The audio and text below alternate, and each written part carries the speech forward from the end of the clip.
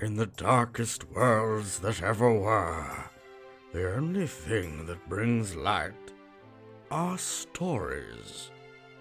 Those stories are kept in one place the tiny bookcase.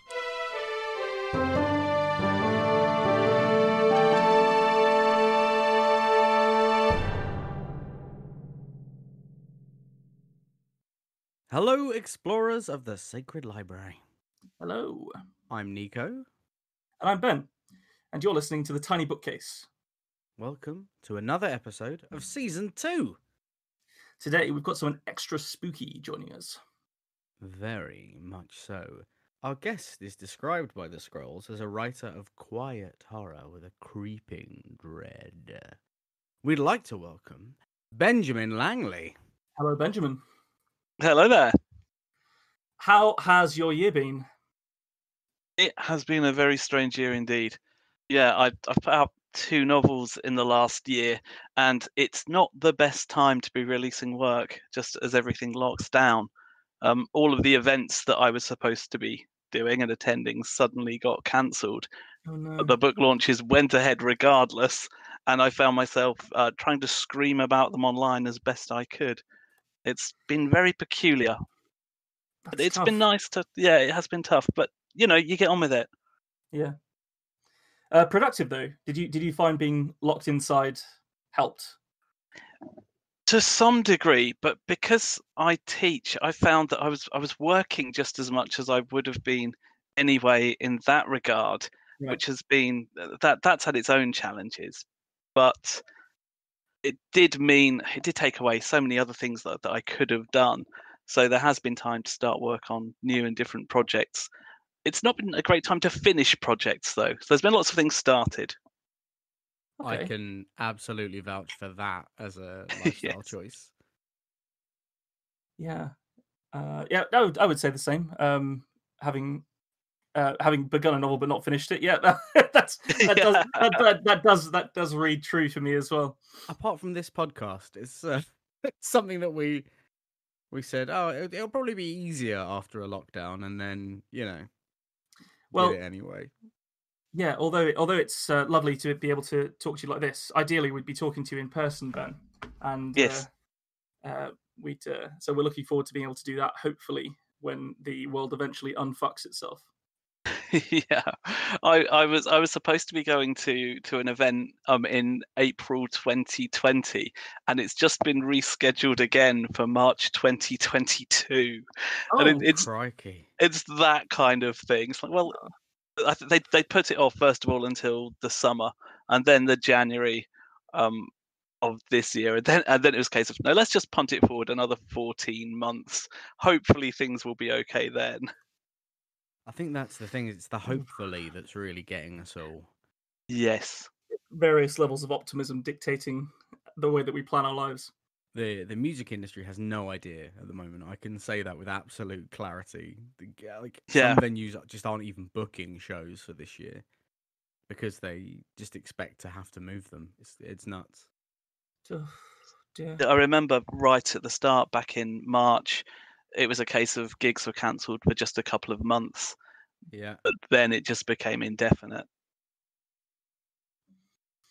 Oh Yeah. well, do you know what? I need. I'm going to improve the mood. I think. I think it's time. Yes, To... please. Should we have a? Should we have a positive?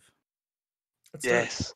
Well, in that case, I suggest a story. And once again, I'm deferring. I'm going to make Ben do it. And this is this is my Ben, not guest Ben. This could become an issue. So- Our prompt this time is the giant. the giant. How tall actually are you? Is the first real thing most people say to me. All of the normal conversational pleasantries up until that point put in defensive service on my behalf. Sometimes I even manage to end conversations before they feel comfortable enough to make me feel uncomfortable. Interactions with colleagues are a struggle, though, as they feel like they know me. Once, on a semi compulsory work night out, James demanded to know how massive my penis was. I left before he'd finished laughing. I had to stop at the lights on my way back. The traffic was heavy. Car after car rolled past. I didn't mind, though. It gave me a reason to stand still and lose myself, if only for a moment. I was the only pedestrian making the crossing. All of the cars, with all of the people inside them, came to a stop, just for me. I walked across the road and kept my flushed face pointing away from them, unwilling to see the puzzlement on their window screen tinted faces. That was the first time I really noticed the green door. It was just across from my place, and I saw the woman say goodbye to someone with a kiss. The next day, Kate offered to get me a coffee from the machine at work. She was already on her way, she said. I didn't really know how to say yes, so I said no. I noticed that she'd painted her nails red. Nothing appealed to me on TV that night, so I tried reading. My brain felt mired, and I couldn't make anything more than the shallowest of meanings out of what I was reading. I had to put the book down. The woman was outside again earlier, wearing that skirt with the belt over and practical high heels. I wondered if she enjoyed having coffee with people. The way she was leaning against the green door reminded me of a painting I'd seen once. Kate didn't ask me again the following day. I had practiced saying yes, so it wouldn't have been a problem. My keyboard stopped working when I pressed the escape key. They should make them tougher. James laughed at me. On my way back home, I saw some binoculars in a charity shop window. I bought them. The man behind the counter smelled of dust motes and tuna fish. I could tell he was going to stare at my hands as I counted the money out, so I turned away from him to do it. I don't know why people watch reruns of shows if they've already seen them. Who hasn't seen Friends? Why is it always on, being repeated over and over again? Maybe television is stuck in a loop, or people are. She wasn't out there that night. Another woman was, though. I don't like her as much. I was told my performance had been satisfactory at work during the next quarterly review. Apparently, it is possible to be above average at moving numbers from one column into another. James told me one of his stories today.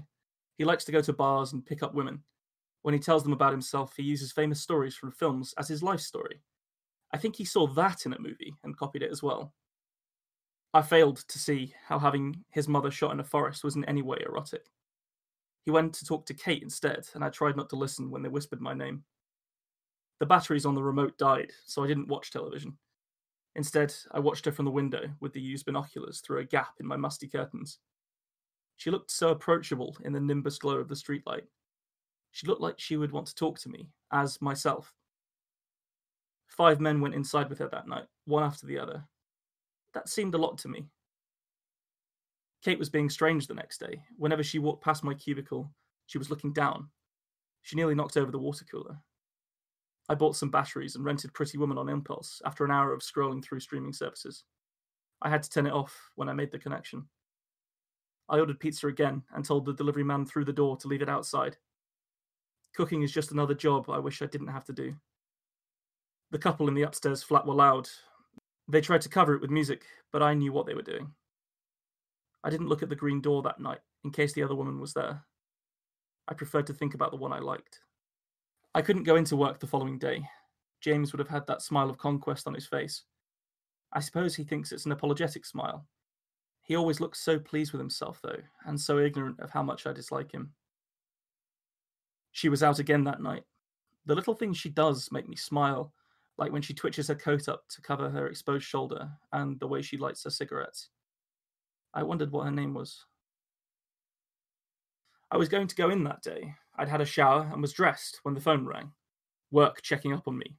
I told them I was ill. When I went to the shop to buy groceries, I realized how much I hated that shadow that followed me around during the day.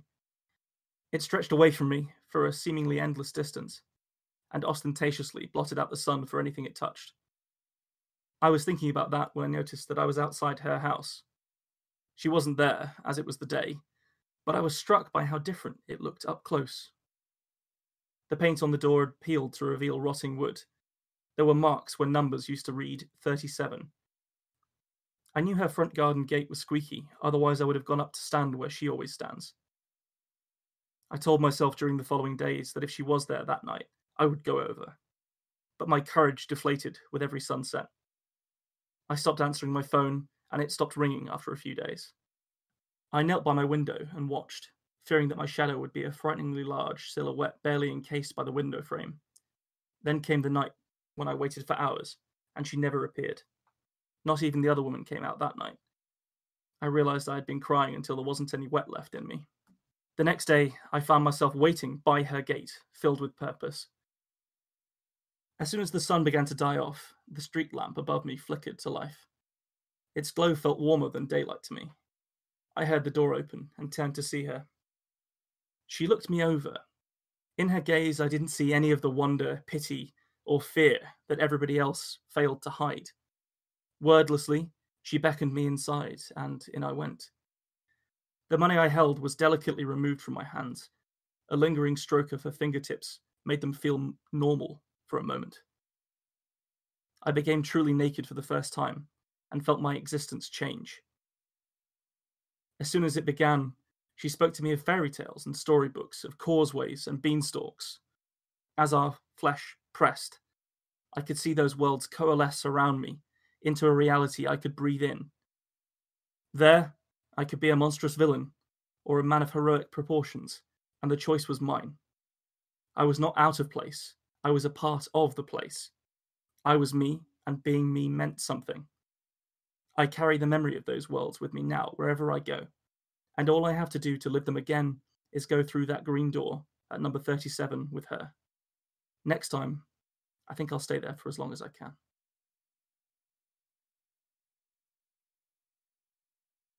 That was deeply sad. Poor fucker. Very sad.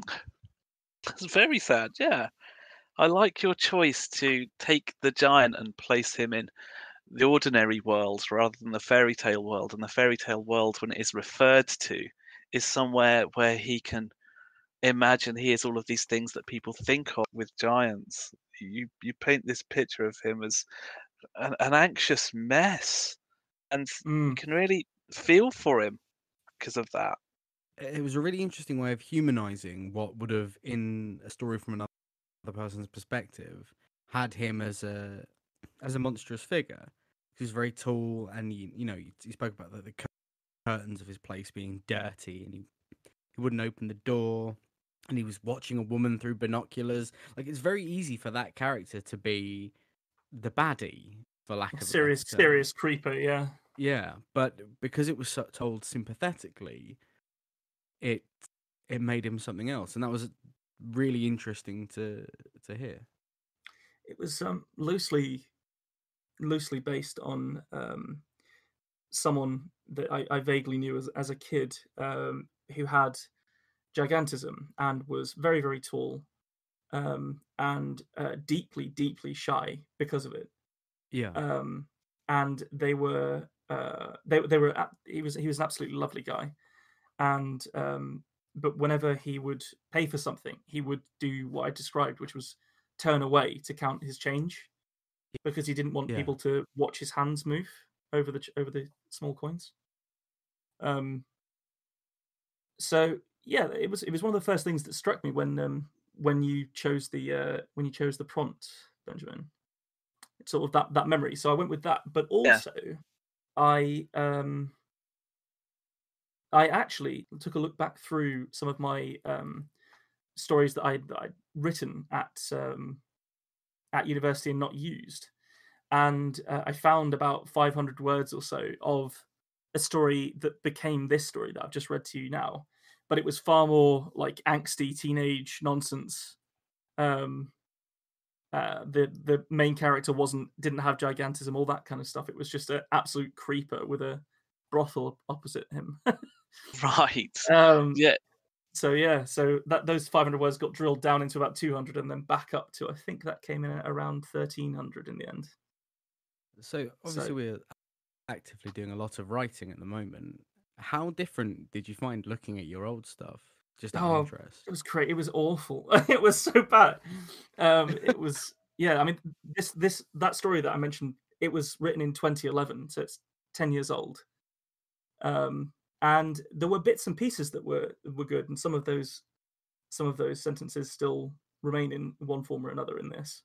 Um, but it was a real testament to how regularly writing can not just improve your writing, but also improve your confidence of, of your writing as well. Yeah.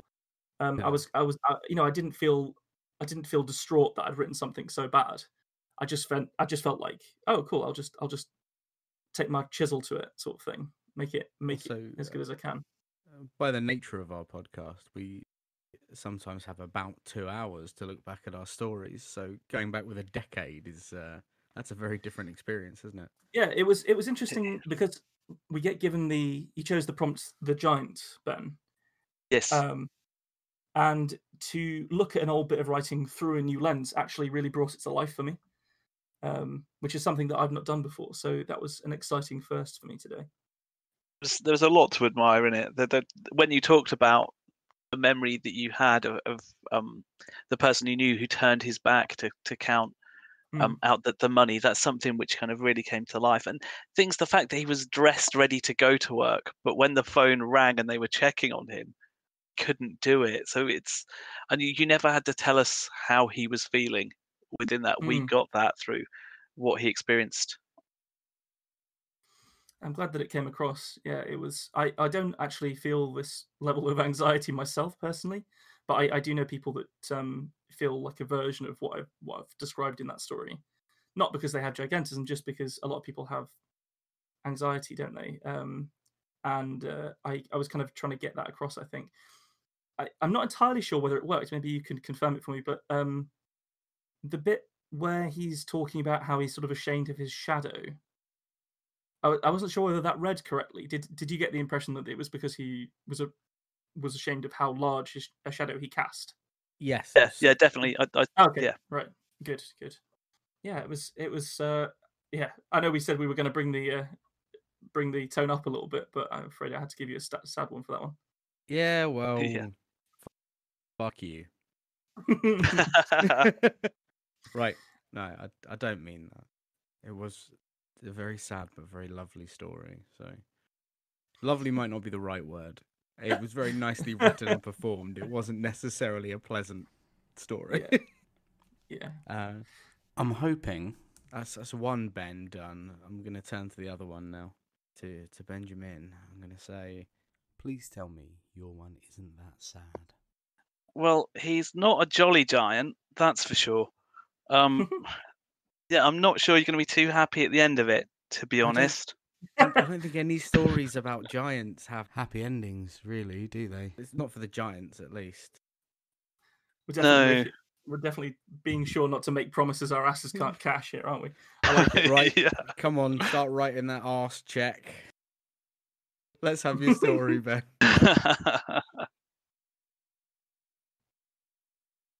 Filthy water sloshed from the wooden bucket and onto the straw that covered the floor as Isaac struggled through the doorway. Behind him was his younger brother, Arthur, carrying a long, narrow willow and reed basket damaged at one end. William Growler gazed up from the table where he had been fixing another broken eel trap. He placed the bodkin back in the grease horn next to his knives and hammer and gripped the table. Let me help you, Dad. Isaac placed the bucket down and moved towards his father. No, I'm okay. William struggled to his feet and, supporting himself with the edge of the table, shuffled round to where he could peer into the bucket. A single eel writhed inside. We're going to have to find somewhere else to put them. Isaac took the broken hive from Arthur and placed it in the corner of the room with the others. River's getting shallow. Arthur pulled on Isaac's sleeve. Shall we tell him? Arthur was only six, young to be out emptying and replacing traps with his older brother, who was twice his age. What else could William do but put his boys to work? Not now, Isaac said, ruffling Arthur's hair. William fell back into his seat at the table with a grunt. No, go ahead. Tell me. Arthur smiled. I saw the giant. William's fingers curled into fists as every muscle in his body tightened. New pain and the memory of past horrors commingled in the base of his feet and spread waves of blazing agony radiating through his body. Why don't you boys see if your mother wants some help in the garden? Arthur rushed out. Isaac paused at the doorway, staring at his father, before eventually following. It was all William could do to suppress a cry. The walls were thin, and he couldn't risk letting his family hear. He gazed at his feet. They barely functioned. If the giant had returned, he'd have to put them to work once more. The door opened and William's wife, Martha, edged in, carrying a basket of vegetables newly dug up from the garden. Boys, she called back to them, I forgot the mugworts. Could you grab some, please? He closed the door and placed the basket by the stove. It doesn't mean anything, she said. William took hold of a small knife and turned it over in his hand. You heard what he said, Martha leant on the table, looking her husband in the eye. And you know how your brother loves to fill Arthur's head with tall tales. It's all Black Shuck this, Shug Monkey that. No wonder he's always claiming to see boggarts, will o' the wisps, and now giants. William shook his head. The river's drying up. They must have restarted the drainage. That's why he's back. Arthur touched William's hand. You don't have to get involved. Maybe it's time to let it be. You can't stop progress forever. What kind of life is that for our boys? Our family have been catching and selling eels for centuries. If I can't pass that on to them, what kind of father am I? Hear Arthur's story. It might not be what you think. William nodded. The weight of the words of one so small was heavy indeed.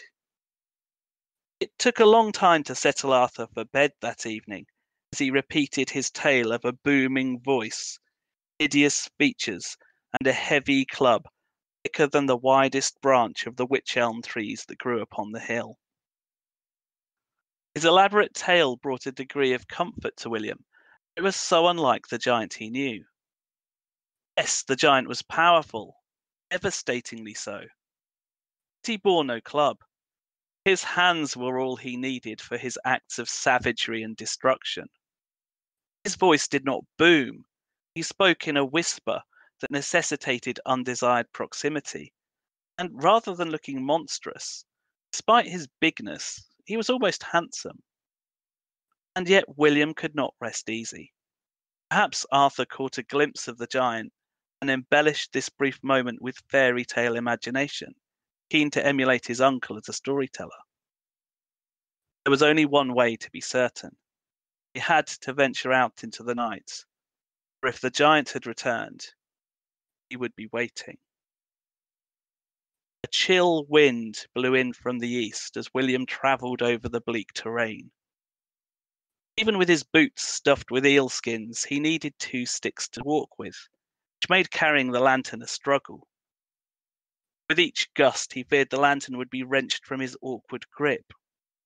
Few would risk a journey in the darkness unless necessary, none as racked with pain would be so daring, so foolish. He moved slowly, more slowly even than usual, using his sticks to test the firmness of the ground before him, peering as far ahead as he could with his dim light. It was alarming how much more solid the ground had become. As a boy, at this time of the year, he would have been wading up to his knees walking over the very same spots. Every step was agony. The mere mention of the giants had flared up past trauma, and the old wounds ached. Ignoring the pain in his feet, he shuffled along towards the bridge. Once upon it, he peered along the river. Yes, a new platform had been built. Men had returned once more to commence their drainage operation. The water, drifting towards the bridge, were splintered wooden struts, sign of the destruction the creature was capable of. The giant's work too had already commenced, and for that he would require payment. William had to find him in order to make an offer while the cost was still in his control. He crossed the bridge and made his way to the split rock hidden within the copse of trees. His feet were entirely numb. There he had nothing more to give. Upon the rock, illuminated by the lantern, sat the giant, his smile spread across his face in a hungry grin. William shuddered as he recalled the horror of his most recent visit. He stumbled, and the giant reached out to steady him. William remained close enough to feel the warmth emitting from the giant's enormous body. You're back. Only because you need me, Giant said in a voice so quiet it was as if it only existed in William's head. William hated the creature all the more because he was right. In his trek across the fen, even in darkness, the damage of drainage was apparent. The reeds with which he built his traps had withered. The old waterways, the places where once William and now his boys lay their eel traps, ran dry as the newly cut channels carried the water from the lands and his livelihood from out of his grasp. Once more he needed the giant to wreak havoc upon their drains and their sluices, to grab the men and tear them asunder if that's what it took to stop their operation. But if the giant was to work, he'd need feeding. As William had done last time, he gazed up into the giant's eyes, hoping to see a hint of compassion. I have nothing, William said. The first time, decades ago, the giant had demanded only coins, and that was sufficient until William ran out of money. The last decade, livestock had been enough to feed the giants, but even the last of the wildfowl had long since departed the area. The giant refused the eels that William could supply so readily and demanded something more. Again, crippling agony struck as he recalled removing his boots the last time he came to the split rock. It was as if the giant had taken hold of that little toe and yanked it right off all over again before moving on to the next, and the next, and the next, popping each into his mouth and chewing sloppily. Losing his toes made working near impossible but Thankfully, his boys had grown up enough to place and empty the traps. They need not be your toes, the giant said. Could he wake Martha, bring her here? She'd benefited too from keeping the land the way it was. Why should he bear the burden alone? I've seen how sprightly your youngest boy walks, the giant said. No, William cried. Not that. Then what? Will you accept another part in exchange? William said. The boys had learned to lay the traps. Could learn to fix them too. Giant's hungry grin grew wider still, and in acquiescence of the deal, William held out his hand, but not to be shaken. Crikey, what a tale! I, I, I loved that. I really enjoyed it. Thank Um, you. It was really there were so many evocative moments in it, um, and you, you sort of built the world very comfortably at the start, and then saw it through with some ex- excellent like fairy tale level horror. Um, lo- loved it. Like in particular, the um, I got this real real strong sense of when he goes out to see the giant, and you start to get the the get what he's been sacrificing, what's been happening here, and it's this like horrible uh, realization. But also inside that realization is exactly how badass this man is. uh, just like straight, basically like hobbling out in onto a fen to give up more body parts is a really strong image. Some, Really strong. Is it? Um, I was just gonna say there's Go on, something to sorry, said for a man who is so stubbornly insisting on maintaining his eel trade that he will allow a monster to pull off his toes. Which, by the way, is a horrible image. Congratulations, it's horrible. one by one, like chocolates out of a fucking milk tray. yeah, it's a bit much, but you do what you've got to do, don't you? the giant was definitely a toe gobbling sleut right there. Uh, lovely. Um, did- was it at all? Uh, it reminded me um, when you were talking about eel traps and uh, losing the fen to drainage and that kind of thing. It reminded me of somewhere in East Anglia called I think it's Wicken Fen. Um, yes. The, there's an old uh, Bronze Age site there that they've managed to uh, sort of keep. They they unearthed it. It been it's all made of wood, but because of the the the bog nature of the fens or whatever, they it's sort of been preserved, sort of. But one of the things that they preserved is a, is an ancient, literally ancient, ancient from the Bronze Age eel trap. You're Um, gonna say they'd unearthed so- a gigantic skeleton that had toe toe bones in the rib cage. yeah, that's it. Yeah, th- they've great stuff at, at Wicken Fen, and it does really evoke some of what it was like so many hundreds of years ago. And I- I've, I've written a few stories lately that have had this kind of same time setting, just using some of the, the regional folklore sometimes. Um, sometimes just using this this idea of, of fen drainage and, and how that affected people. Um, but it certainly wasn't kind of the, the, the starting point with my thinking, but it's it's where I ended up when I started writing it. It's a, it's a really strong uh like dirty idyll i think that historical setting and then as it sort of blends upwards into a horrific uh fantasy with uh, the the reality of the giant and the hidden cost of his help. Or their help. Um, that was I, I feel like that was a really strong entry. Uh, there was one particular bit really early on that got me and i i, I even wrote it down because I, I was sort of really impressed by it. Um, the giant spoke in a whisper that necessitated unwanted proximity. That was really uh, that, that really got me. I was like, I, I could completely see myself in that situation where you just you need to lean in to hear him, but you really don't want to because he's going to take something off you. Yes. Yeah, that having to be close. I also had to use, I, I couldn't resist using the word bigness in there. Um, because of Jekyll and Hyde, it, it appears in Jekyll and Hyde a couple of times. They talk about how when when when Jekyll is Hyde, when he's caught in that body, he's wearing clothes of Jekyll's bigness, and the word seems so wrong. I had to use I'm all it. about it. I like it.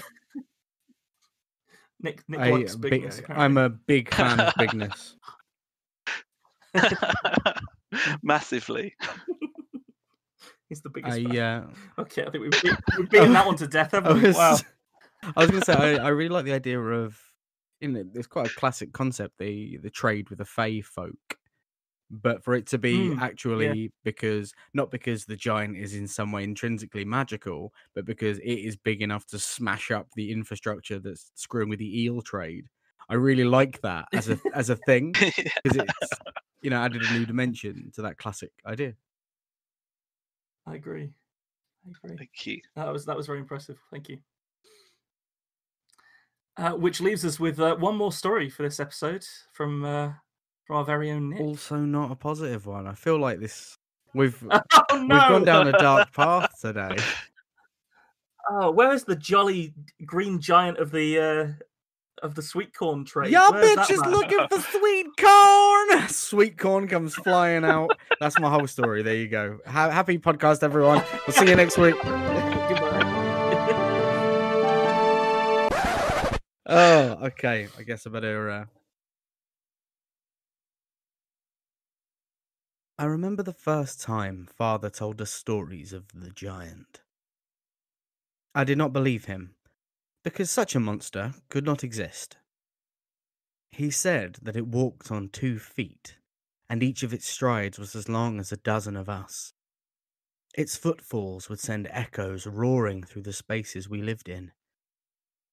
He said it hunts us relentlessly, but not to feed on our bodies, or because we were a danger to it.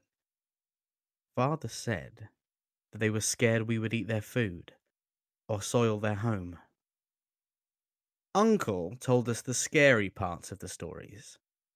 He told us they lay great shining traps that would crush the very heart of you. It would punish you for trying to save yourself from starvation. My sister and I would whisper late into the night about this terrible myth.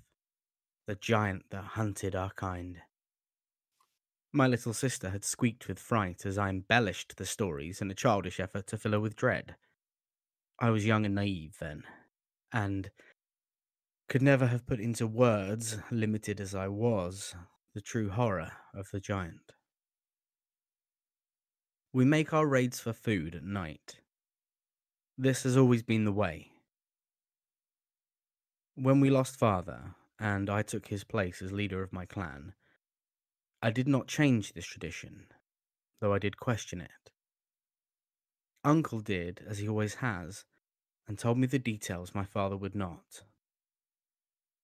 The sunlight hours do not belong to us, boy, but to the giant. It roams then. It feeds and it bellows. Go at night, when only the rumbles of its slumber ring. I took him at his word, though I had no love for creeping in the shadow. Filled, then, I was with ideas of valour. Foolhardy and unlearned, I began to brew, in the cauldron of imagination, a belief that I could brazenly go to the food place in the sunlight hours.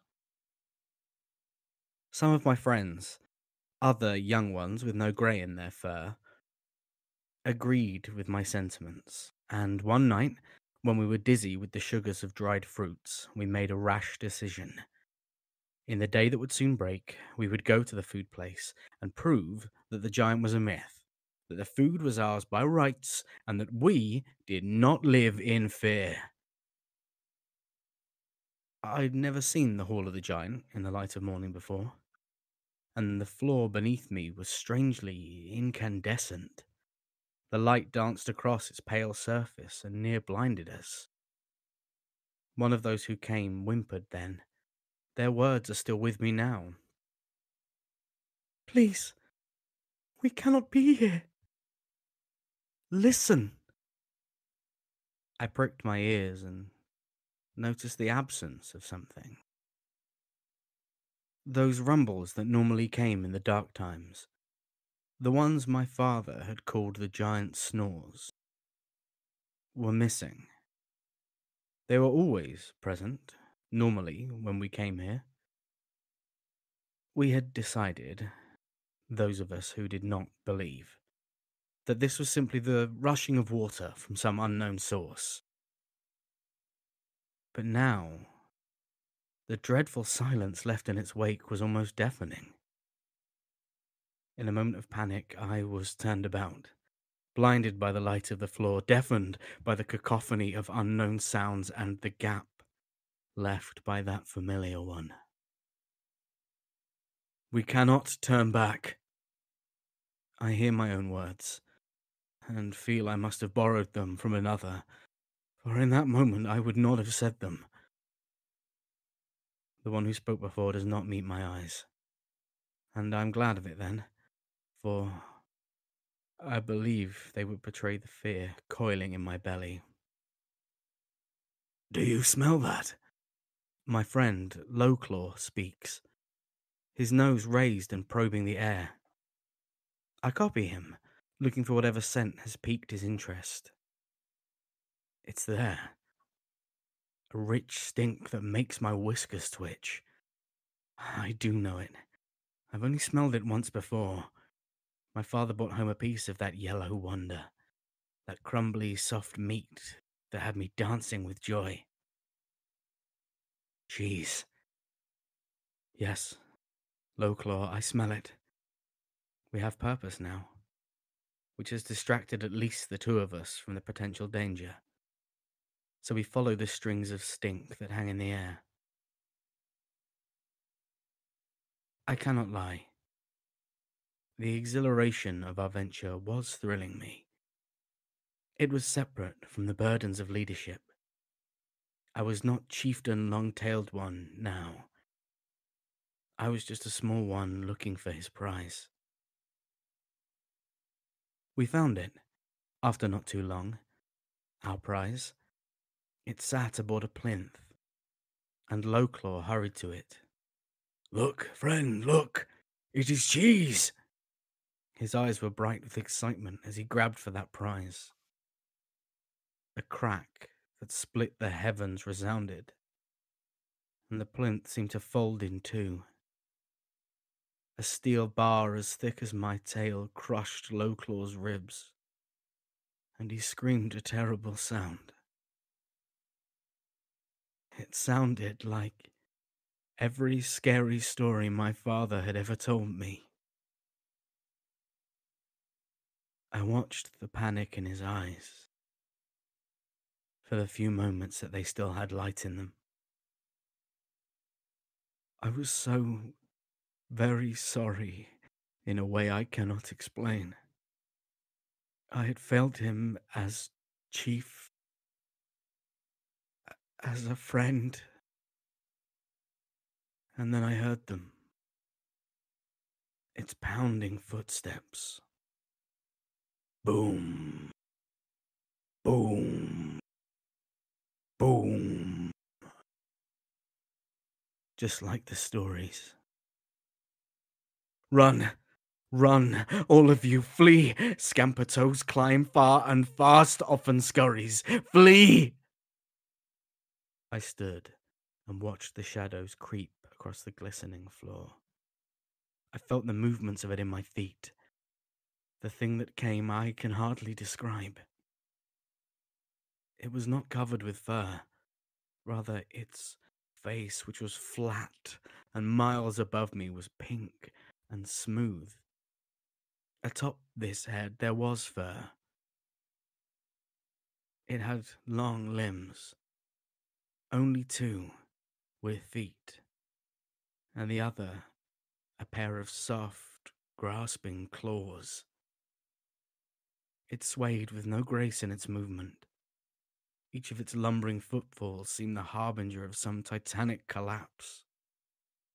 It saw me then, and Lowclaw crushed and killed. Its great maw opened, revealing rows of flat white fangs, and it screamed. A wail that made me think my skull would burst. Mom! A mouse! My panic broke then, for I saw death in its eyes, and I knew that our time had come. One of its traps was sprung, and now it would hunt me to the end of our days. Not for food, just for sport. Exactly as father had said. I flew then as fast as my feet would take me, and squeezed into the crack from where we came. We could never use it again. Not now. Not now that monstrosity was roaring. And then a series of louder crashes. I dared to look, to take the smallest glance. Another monster, bigger even than the first. Its eyes flashing wild and hungry. One of its gigantic feet lashed and threw Lowclaw sideways. My friend my poor friend. The smaller giant was pointing at my hiding place, and the big one ran for me. I was frozen, unsure, and breathless. Not a moment too soon, I snapped back to reality as a grasping claw wriggled toward me. Summoning all my bravery, I bit it, and the giant giant howled in pain. It tasted foul to me, and I heard it shriek as I ran home to hide and live forever fearful. I tell the stories now, as my father did, in the hope that young mice will believe me. There are terrible giants out there. They hunt us for sport, and their traps are deadly. Against them, we cannot win. That's uh, two badass ones in a row. I feel that was uh, really, really something. I loved the like uh, uh, Vietnam War vet approach to the narration. That felt it was that was it add, added a whole level of complexity to the whole thing, which I thought was excellent. Lieutenant Dan the Mouse. That's something yeah, that that's an aspect I really enjoyed too. The the, the language choices as he would, was telling, um, retelling this story, we had the perspective where we we understood how small this event is compared to how mammoth it is for the narrator. So I like that perspective. yeah. It's sort of. It's, I'm not entirely sure what the actual term for it is, but it's it's it's a kind of unreliable narrator, isn't it? Where they are, they don't have the same information as us. When you know when you're trying to guess who is. I know I know it was fairly obvious from early on that it, that they were mice, but at the same time, it wasn't. You didn't just go. He looked at his mouse friend. You know, you didn't. yes. You know, you you, t- you Greetings, um, fellow You mice. showed you, exactly. Yeah, you sh- you, show, um, you showed us rather than told us, which Yeah. is a sign of a good story. Um, it reminded me very strongly of Mouse Guard, the David Petersen comic books about mice that have a sort of medieval society and they uh, they look after their lands. You know, they've got little little, little acorn Yeah. shields and and that kind of thing. That like that moment when you when you when he referred to himself as um a valorous uh, Yeah. person, I was thinking, oh yeah, that's that's got real It mouse guard definitely really started cool. closer. The the first iteration of this, it was a bear rather than a human, and it was a giant they were going to slay. And Ah, okay, that- was- yeah, that it was kind of a fun fantasy jaunt, and I thought, no, I'm- I'll make it sad because then you know we'll have a sad one in that Yeah. episode. Well, rather than three sad ones. Yep. should have should have gone with the the Uh, romp. having having said that, there was a point where it, I felt like it could have turned to comedy, uh, not in a bad way. I mean, like in a uh, there was there was an aspect of them being caught out in their disbelief, you know, in their conspiracy Yeah. theory approach. Like so when they when they get out into the into the house and they're going on about how they don't believe that the what, what other people say about there being giants and, and that kind of thing. Um, I got I very much got the sort of mental image of um, like flat earthers out at sea. You know what I mean? yeah. No, I get Yeah. you. I get you. Yeah, any any chance of humour was was then lost with the death of Lowclaw, wasn't it? It's Oh, local. He was he was so cool. He was he was Yeah. a trusty More like companion bro claw. to be brought. Bro claw. Uh, that yeah, the description of the shining traps early on as the sort of Chekhov's trap worked very nicely. Um, and uh, I really love the description of cheese, that crumbly, Yes. soft meat cheese. Yellow Wonder. yeah, I just I, now you say it like that, it does sound like they were going for a like an enormous bag of cocaine, doesn't it? Like you know when uh, you know in Tropic Thunder when Jack Black finds the heroin mound in the processing plant. Yeah, I guess so. Yeah. Yeah. Whoops. Oh, rest in peace, Lowclaw. Though that's that's gonna that's gonna that one's gonna stick with me. I, I do also enjoy stories which are about telling stories and the difference between the father's stories and the uncle's stories and how the uncle gave all of the grim details that are seemingly necessary to help them avoid Yeah. their fates, their potential fates. That's very yeah, that's a good point. The uh yeah, it had a lot about the nature of storytelling and and like oral tradition in there as well, didn't it? Which was yeah, it was it, it was uh, it was fascinating. I, I- I really Oh, enjoyed it, mate. I'm was really glad. So we've had uh, we've had three quite sad stories about giants, Var- varieties of giants, of course.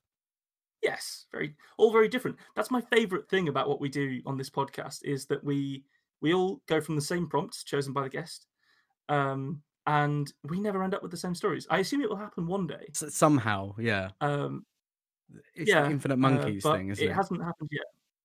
Yeah, You put infinite Yeah. Um, podcasters in a room with infinite typewriters. Eventually, they'll all write the same story. Is that? God, do you write yours on a Oh, typewriter. of course. It's costing me a fortune in ribbons. Commitment. you spend most of the time like trying to uh, sort of problem solve the machine that you're using rather than actually The typing. the click clack clack ding can be heard for miles. This might be a weird thing to go on to, but Oh. I've I've never actually used a typewriter. I've pressed the buttons on one and fiddled about with it, but I've never actually written a document with a typewriter. I, I had a go once, but that was about But if you do want to know you know, old tech, how old we are, I faxed my details to university when I went. So People still use fax, man.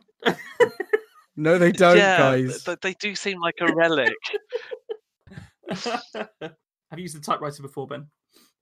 I only to mess about with. I, I remember Mm. when I was a child, my parents, I think they they they, they found one somewhere. A relative passed it on to them, and it was just a clack away at the keys. I, Figure out why when you press this one, yeah. these three keys together, it'll get stuck. Um, but, but but short of that, no, never seriously. Imagine writing an, a novel on one. Jesus. Yeah, a whole Yeah. novel. It would just be. Oh, yeah. Not being able to just save draft versions as well would. Oh, I don't like that bit. Backspace, Yeah. backspace. Oh no, wait, that doesn't exist. it's just, it's just there. I guess is there something to be said for just getting it right the first time? Yeah, Um, I always associate them with um, Stephen King's Misery. Yes. You Yeah, see. Paul Sheldon typing away, and then his manuscript. Um, the fact that there is only a single copy of it, and, Yeah. and the problems that Yeah, causes. the only thing worse than using a typewriter is using one with a smashed up leg, I suppose. Yeah. yeah. just on the typewriting thing, I recently found um, a, a certificate that my uh, grandmother had, and as you know, when in her in her sort of early uh, adult existence, um, for being a, a typist, and you had to be able to type a certain amount of words a minute in on a typewriter. Yeah. Um, and it was yeah, I, I I remember thinking even as a kid that um, because the um, because she could type on a computer very well, but her hands would be a totally different angle. Like I don't know about you, but I type with my hands quite flat to the Yeah. keyboard, whereas she was very it was up, like her hands were held up like a T Rex, and they would Mm. they would stab down at the keys. My uh, my mum's exactly the same. She learned to she learned to touch type because she worked in a bank before Right. uh, I was born. So my the two things my mum is excellent at is gutting fish because she my grandfather was a fishmonger and typing. She can't do anything else on a computer, but she can put out like two hundred words a minute. It's Mm. Crazy. So I think it's a skill that's kind of disappeared now. Though, so we Yeah. we can all very practically use a, a keyboard. We can get a lot of words out, but we're almost certainly not doing it the most efficient way. Yeah, I mean, I didn't, I didn't really learn to touch type until I started regularly using instant messaging services, which would have been the early days of MSN Messenger for me. IMing and video Um, games, right? Yeah, yeah, pretty much, pretty much. Well, uh, let's. Uh, I'd quite like to uh, talk to you about uh, what's going on with you, Ben, and your outlooks on things. So, if you're willing, we've got some questions Sure. for you. yeah, go ahead. Uh, the first one's nice and easy. What are you reading at the moment? I just finished reading a book this morning called The Hunger by Alma Katsu, which is set in the mid 1800s um, America. A wagon train heading from Illinois uh, on its way to California. They they take a rather risky route choice through an area which is rumored to be evil, and there are hungry things there. It was highly entertaining. It was a great read. it. Yeah. Oh, cool. No, I've I've also I've been trying to read a, a few books on writing recently. So I've I finished one recently called uh, "Writing in the Dark" by Tim Waggoner, which is all about writing horror fiction and kind of tips on that. But that pointed me in the direction of a heap of other books. So I've got one here called "Writing for Emotional Impact," and and another one which is great for, for looking up injuries and things called a, a writer's guide to wounds and injuries body trauma now when i got this book i opened it up and on the first page that i saw was figure eight layers of the scalp so lots of delicious uh, information in there to share mm, brain um, soup. then I've also been working through um, when I was when I was a kid, when I was about seven, there was a comic book I used to get called Scream. It only ran for, for something like thirteen to fifteen editions, and then there was some kind of publishing dispute. And I didn't Mm. find out until the start of this year that some of my favorite stories in there were continued in other comics, and I managed to pick up a compilation of them. So one of them is called Monster, um, which is about this boy's hideous uncle. and the other is called The Thirteenth Floor, which is about a hotel um, where the computer can generate and turn the floor into things to torture people with. And, and it's been great to revisit those, and, and I can't believe I read them when I was seven or eight years old. It's probably Oh, wow. why I write what I write today. But they're great, absolutely great. So you, it sounds like you ha- often have a lot of books on the go at once. I tend to stick to kind of one novel and then then other things. Bits of non-fiction around it. Yeah, so I mean, yeah, there's another one by my by my bed, My Life in Horror, um, by Kit Power, which is a series of um, articles about his experiences with different uh, books, with different films, different TV shows as he was growing up, and how it has shaped his own writing. And, and I, I find I can duck in and out of nonfiction while continuing with a a novel. I think I think that makes a lot of sense. Yeah, I can see that. Do you find it's um? Do you actually find it helpful to your own work to read about other writers and their processes? I do, yeah. Certainly, um, with the Tim Waggoner book that, that I mentioned, there were a lot of things where I was reading through it and thinking, okay, I've tried to do that, and, and I also was able to reflect upon things I'd written and, and think that, that that's perhaps why some things hadn't quite hit the mark in the past and why some stories didn't work.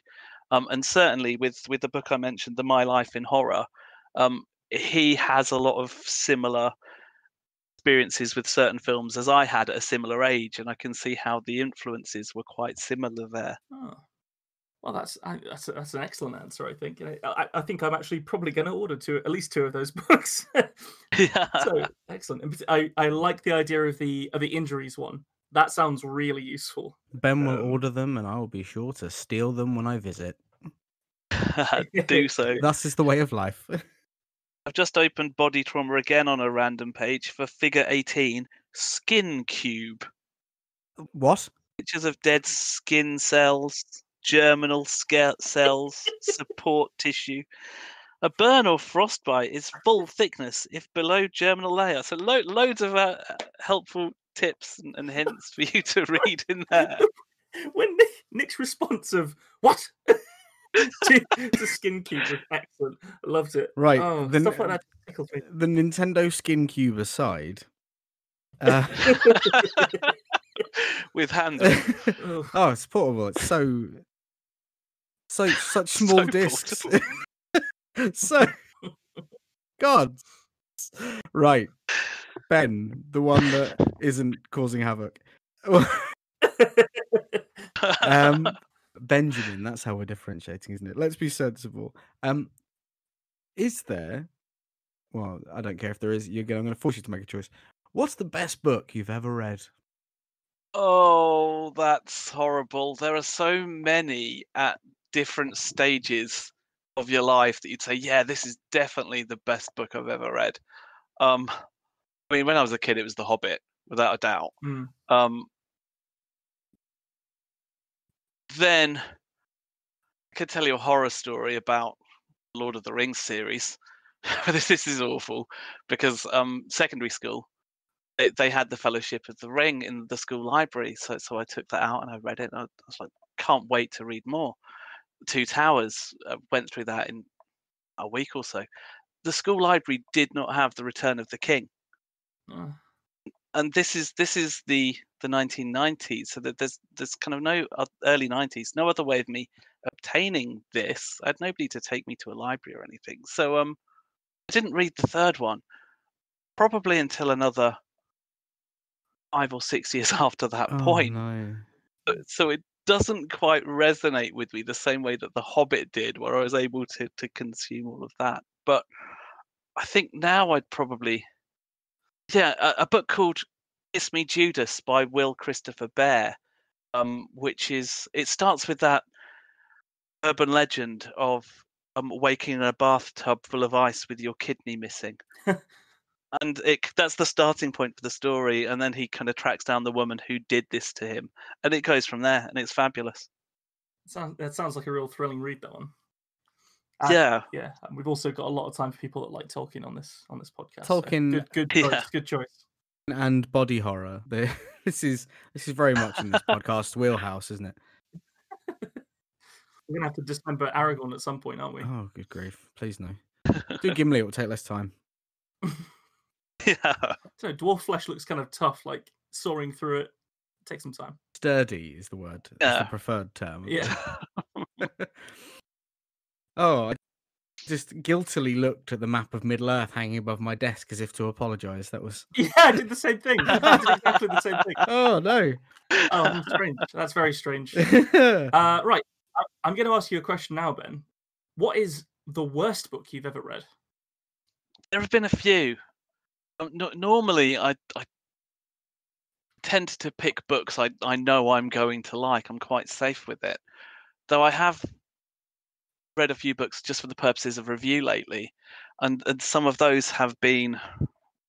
There was one which made me quite angry because it was very misogynistic. But but Mm. actually, I think that there was a book I picked up. It was called Apples, and I can't remember for the life of me who wrote it now. And what annoyed me about it was I can't really believe it. It got published by I don't know if it's a mainstream publisher, but I picked it up in Waterstones. The big kind of thing at the end was these two characters who who it told their their story, a male character, a female character, each chapter. Uh, didn't reveal their names until the end, and, and they were called Adam and Eve, and it just oh, it just did not work. It's like oh, I, I cringed so hard when I got to the end of that. Absolutely. Oh no, that. awful. It sounds like you did quite well not to throw it across the room when you finished it. Yeah, I was like, how can this be?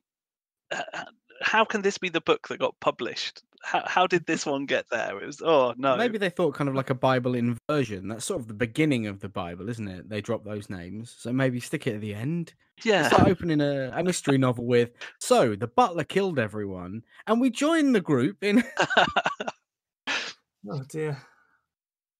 Alas, I cannot remember the name of the author, but I don't need Well, to know the name of the author yeah, because I I won't mean- read anything else of theirs. So Well, I don't know if you if you can't remember the name, you might be you might be caught caught off guard again. You'll end up with uh, with uh, some other some, some book ending on some weird note again.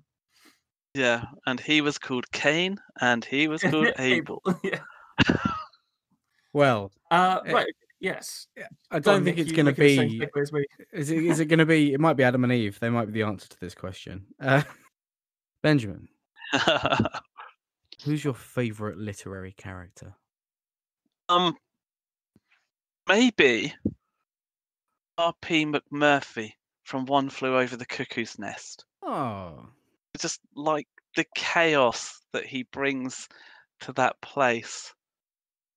I suppose part of it is you, you cannot separate that character from Jack Nicholson because obviously the, the, the film had long existed, even though I hadn't seen it before I read the book. And I think the copy I've got has even got his face on it. But kind of, I, I think he really is one who exploded on the page and really brought that to life or perhaps Tom Cullen from The Stand. Is there a is there? I haven't read the stand. Is there is there a similar level of uh, chaos to that character? Um, no, it's he's, a character with with learning difficulties, and I only read The Stand quite recently, and there are some things about it which really do not stand up particularly well now. There are a few phrases in there which just seem a bit, oh, that seems very dated, but his character still comes across as very sweet and innocent and the way that he's used in the end of the story and some of the things that he does it just they work really well Um, so I like this. I like this question better. We sort of t- sort of touched on it a little bit with uh, what you're reading at the moment, but um, it's always an interesting one to ask um, authors that have published works and stuff. Uh, what is your writing process? It's it's been different for for each novel that I've written. Um, with with the first one, Dead Branches, I had very much kind of the starting point and what I thought was the end point in mind, and I just wrote from start point to what I thought was end point, and then the next bit that happened, and it was just a case of slogging through it with minimal plotting. It then did mean a lot of editing was needed to get things happening at the right time, because that one is set in 1990 at the time of the World Cup, and uh, the the, the characters in it often reference who's still in the tournament. They watch the games. They they have this belief that their friend will be okay as long as England stay in the tournament. If they win the World Cup, he will be fine. Um, so there was a lot of plotting that need. There's a lot of editing that needed to happen with that in order to keep the matches on the right day, and so that was quite hectic. Hmm. with the most recent one, with with normal, I've got four point of view characters, so I kind of had to know who was who we were following for each part of the story. So that one I was always plotting about ten chapters ahead, um, so I could see right the next two chapters are going to carry this part of Lola's story. Tom's story is going to deliver these bits, so I had to do that one in a much more thoughtful way. It wasn't a case of I could just write it. Um, even though I didn't know the ending of that one until I got there, I was always a chunk ahead. And with short stories, it tends to be a case of um, an idea tends to, to arrive from somewhere, and, and then they tend to be sit down and write it and see how it works out. Try to kind of pull out ideas um, try to find what kind of the emotional core of that story is, what's the important aspect, who are readers going to care about, and then build in that part and layer it up from there. So, so what? So it sounds like um, you you do a fair amount of plotting for your for your novels, but a bit more of like a by the seam of your pants for short stories. Um, that's that's certainly how it's become, become recently. Yeah. yeah. Is do do you feel like that's because you're you've become more confident in your own writing, or have you always felt quite confident in your own writing? Um, I, I, certainly have become more confident with it, and I think with when you plot it out, you meander less. I certainly threw out the first ten thousand words of Dead Branches when I realised that the story I was writing was actually the bit in 1990, not the bit in the present day.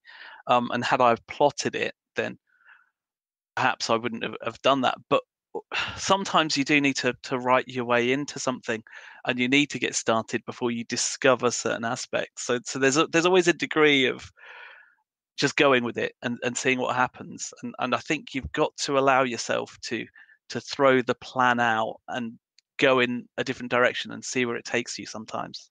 I really like the concept of the the build up writing that you just mentioned. This idea that you can just as you, you can just start to write it out and eventually you find actually where your starting point is. Um i like that. I think there's a there's, an, uh, there's sort of an idea of momentum to that kind of writing which appeals to me. Momentum is is so important. I, I tend to do most of my longer writing when i've got time off um like holidays from school etc where i've got two weeks off or, or six weeks off then I, I tend to try to just plow down and get as many words done as possible there because once I've got to the end, whether it's plotted or not, I can then go back and fix it, which you can do in smaller chunks. Mm. I think that's quite a nice philosophy. The yeah. like going in with the knowledge that I can always go back and fix it. So instead of being super precious on the the way through, you want to get the story out. I yeah, I think it's quite comforting to know yeah, that a professional feels like that. There was a somebody once said, "Don't worry about getting it right. Worry about getting it written." and mm. then you can go because you can spend so much time umming and ahhing about whether you're doing the right thing and whether it's going to work and whether it's good enough and then you never get anything down and it's in getting it down that, that you've then got something to think about and work with and you can plug the, the plot holes i mean i had a massive plot hole in second novel is she dead in your dreams which i don't think it was until about the fourth time i was editing it and i was reading through it i'd, I'd sent it out to a few publishers without getting a lot of interest. And it wasn't until I, I figured out what was wrong with one of the characters and, and, and how to fit them in so there was no coincidence in there that it then worked. But had I just sat there and, and not written it, then I don't know if I, I would have ever worked my way around it. Hmm. I think that was a very encouraging answer to that question. I liked it. Thank you. I agree. Now, talking about building on foundations of things, Benjamin, if you could take any book and transfer it to another medium, and it doesn't necessarily have to be film or TV, you could be a musical, a painting, whatever. What book would it be? To which medium and why? I was thinking about this recently. I, I mentioned that I'd only only read The Stand, um, turn of the year, and as I was reading it, I was thinking that it's it's a novel that is largely about journeys. There are characters who are traveling everywhere. I would love to create like a map book mapping all of their journeys and where they go and when. And I mean, it'd be even better if I could then road trip it and take pictures. But I mean, that's not going to happen. But still, it'd be great to create the maps. This character goes here and when, and perhaps do that for the whole Stephen King universe. Like this is a map of Derry, um, which is used in it. Castle Rock is a town which he uses frequently. But but to be able to create like maps of those places, I think would be enormous fun. So you have two options there. You can either get Ewan McGregor involved and make it quite classy, but still cool, or you get Jeremy Clarkson and you get money behind it, but it definitely won't be as classy as you want. And you've got to Uh, cut around him doing the things that he does. I- Stephen I'm not King going near is an Clarkson. American. Yuck. oh no. Oh, it'd be the worst. I can imagine pitching the idea. It's like, yeah, we'll do that, and then they hire Clarkson, and Yeah, you yeah. go to every length you can to remove yourself from the project. Your dream project is in tatters. But of course, that's how you end up with James May. So you need to be careful.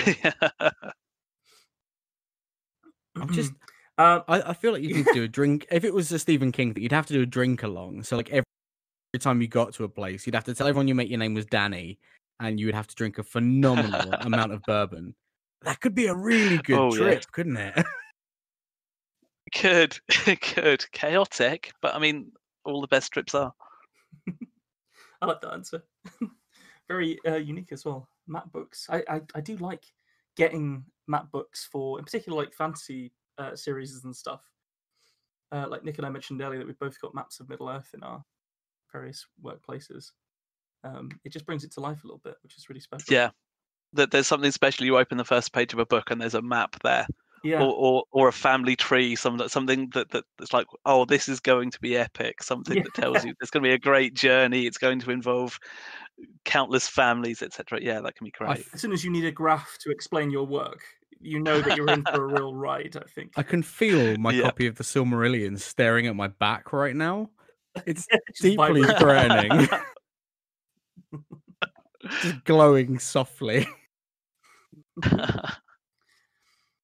Uh, this one's uh, this one often gets um, uh, well, it gets some very different different responses. I find. Uh, when did you last cry reading?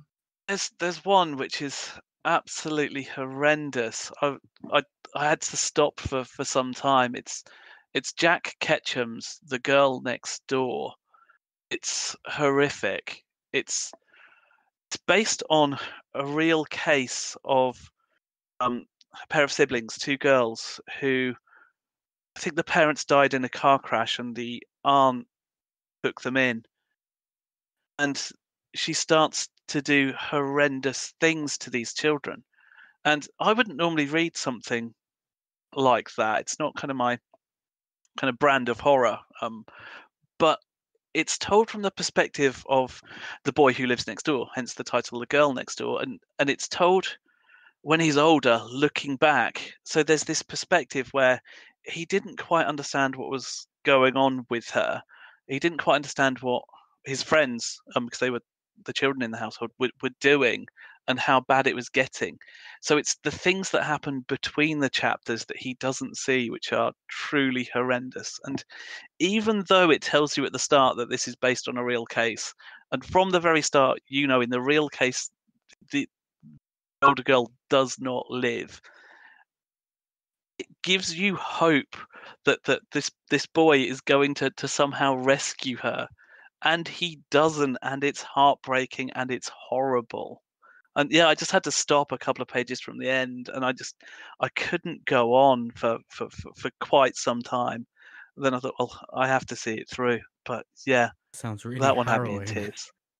That does. It get- is. like even your description. I was a bit like I, I was. I wasn't welling, but I was very aware that that was that would tug my heartstrings. I'm L- fairly sure. Lump in the throat territory. That. Mm, Oh. Yeah. oh, right. Oh. Right, I'm I'm I'm going to open fire now with, uh, and I say it every time. It is my favorite question ever. It shouldn't really be in a story podcast, but then it possibly shouldn't exist at all. it goes against God and nature. I only believe in one of those things. nature is not real. so, can you tell me, Benjamin, one fact about you or your life that is completely uninteresting? Um, yes, I can. I often lose my slippers in my bedroom, for they are the same color as the carpet. so, first, first, first fucking follow up question: What color is that? They're kind of a navy blue. Now, In fact, I, I, I can and can't see them right now. I can see the outline of them because the lights are on. But but yeah, th- there's oftentimes I can't find my slippers. I seek family members to help me. this this sounds like my worst nightmare because I'm blind as fuck, right? You've described my perfect hellscape. So, so like, what is it? Also, that your memory's bad, so you don't remember where you took them off, or how are we getting I mean, in this that- situation? It sounds like on the regs. It, that, it really is. I mean, this this last year has has largely been me asking other members of my family where my slippers are and where my phone is. Yeah, Have you considered leaving them on? I don't mean all the time. Not all the time. That would be weird. Like in the bath. Well, you see, it would, wouldn't it? Soggy. Yeah, I mean, uh, th- they're by the bed at the moment because I'm, I'm that's where I'm perched. That's- Are you sure? So yeah, so so often it's just the bedroom floor. I've taken them off. So I'm peering again, and y- yes, there was a pause. So ninety percent. It seems Could- like it you would be a from like a pack of like golden stickers that you could just put on put on your slippers. Yes. make them a bit wizardy. yes, turn them up at the ends There with yeah pom poms. This is how we fix Yeah. this this uh, particular problem. I'm all about, I'm all about solutions. Oh wow, that was a really good one. I also imagined that your like bedspread was navy blue, your walls were navy blue, the doors navy blue, and it's a bit stormy outside. the Sky's navy blue. I'm gonna. navy blue. I reckon with some body paint, we could really fuck Benjamin's day up. Just a pair of eyes open in the navy blue sea. That would that would involve you and I yeah. sneaking naked into his house covered in body paint. No, no, Which it would mean I- us I- just not leaving naked. Oh. We have to maintain the illusion that this is all happening in one place, Ben. so we're currently in Ben's bedroom, are we? Completely nude, looking for his yes, slippers. you are. I swear I left them in here somewhere. I think Nick ate them. just covers the slipper-shaped bulge in my tummy. So I'm really, uh, I'm uh, really keen because we've had a, we've had a good time here. For you to uh, f- talk about you and your work. Have you got anything upcoming that people can uh, look out for? Get excited Yeah, about? I'm currently working on a novella called The Fen Witch of Goose Feather Split, which I'm going to Oh, great self-publish that one. That's a great Thank name. you. You're That, that does have. a- Yeah, I'm just I'm just going to put that one out myself so I can get it out as cheaply as possible. Um, I'm going to do a limited run of print copies, and the ebook will be as cheap as I can possibly do it, perhaps free sometimes, just so I can get my work out there. That is in the editing stage, so um, hopefully mid March, end of March, I'm hoping to have that available. From the name alone, It- I want a copy. So Is is that a result of the the frustrations of the um the the COVID nineteen situation and your uh, was it was it was um some advice that was was given to me. Before before everything shut down i, I went to um the uk ghost story festival um december 2019 which was fabulous. Um it was in derby and they, they had lots of uh, lots of, of writers there and adam nevill uh, was was doing a panel. And, and i asked him uh, just, just a question about one of the best ways to to promote your work and he said if, if you, you're able to put something out for free, then it allows people to get to grips with your work and take a chance on something. So I thought, yeah, I mean, worth a go. Oh, that's yeah, that does sound like a very good idea. And uh, if you uh, if you send us over a, a link to it, we'll be sure to uh, to push it as well. We'll do. Thank you. Well, it's been absolutely excellent talking to you. Um, where can people find you on social media or I think Twitter, Twitter is probably the one that I update the most. Where I'm, um, can find me under Benjamin Langley, or that it's at b underscore j underscore Langley. Excellent. tend to to link to my blog recent um quite regularly on there. That's something I've tried to update more than once a month recently. I noticed that you had a you had a um a, a, uh regular blog. That's that's a that's something uh, that we can applaud for sure. Um, I know every time I've started a blog, it's died off relatively quickly. Yes, sir. Yeah, those uh, those first four entries are always really strong, and then uh, Yeah, oh yeah, yeah. fuck, I had a blog last year. yeah, yes. Yeah, when when I look at the um, because it's on WordPress, you can look at the, the stats and whatnot. I think there was 2019. There was one post on there which was about it being World Dracula Day and me watching one of the the dodgy Christopher Lee Hammer horror sequels that was set in the modern day, and that was the only thing I put on there that year. But I'm, I'm quite regular at the moment with with updates on there. I think it's everything Well- though. I must have started a dozen diaries over my thirty and a bit years, and I don't think I've ever made it past January the seventh. That's not an exaggeration. Uh, I definitely found that it was um it, it was sort of, sort of something that I was I found easier to work on whilst single. I think I don't know why that had an impact, but I maybe I was more sort of angsty and all that kind of thing. So uh, just Yeah. putting putting together blog posts and throwing them out there was some sort of human connection, I guess. nah, fuck human connections. I'm done with this. I'm leaving. Well, you wrote us an excellent story today, Ben, and you've been an excellent guest. So thank you very much for coming on. Thank you for having me on. Uh, It's been it's been great. I've really enjoyed it.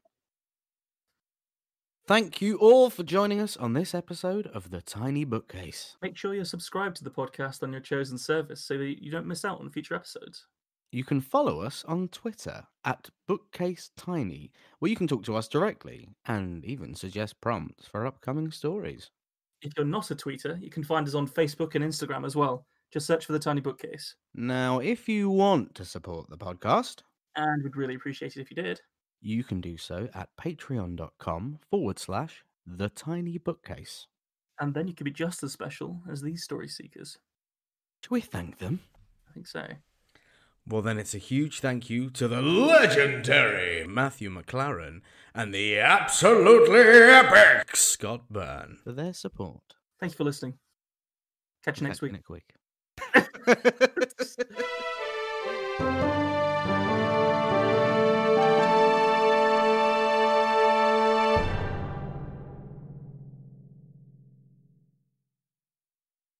Make it slimy.